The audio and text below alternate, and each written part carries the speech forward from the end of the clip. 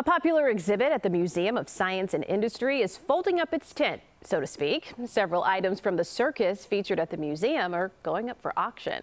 Here's what you can get from some of that auction. Motorized three-dimensional exhibit showing the circus parades. Auctioneers say it could run anywhere from five to $10,000. How about the big cats display? That could fetch anywhere from three to $6,000. The MSI closed the circus exhibit on September 6th after nearly 50 years. The auction begins next weekend.